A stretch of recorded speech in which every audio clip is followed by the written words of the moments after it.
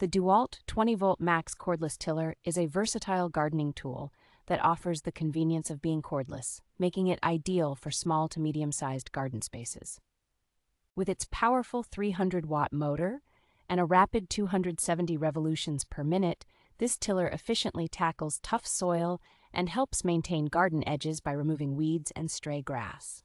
Equipped with 48 durable steel tines, the tiller provides an impressive tilling width of 8.7 inches and a depth of 6.3 inches, making it effective for various gardening tasks. The ergonomic design, featuring an adjustable auxiliary handle and a safety switch for easy startup, ensures comfortable and safe operation, reducing fatigue during prolonged use. For added convenience, the tiller can be easily disassembled thanks to its detachable handle and gears, which also allows for compact storage when not in use.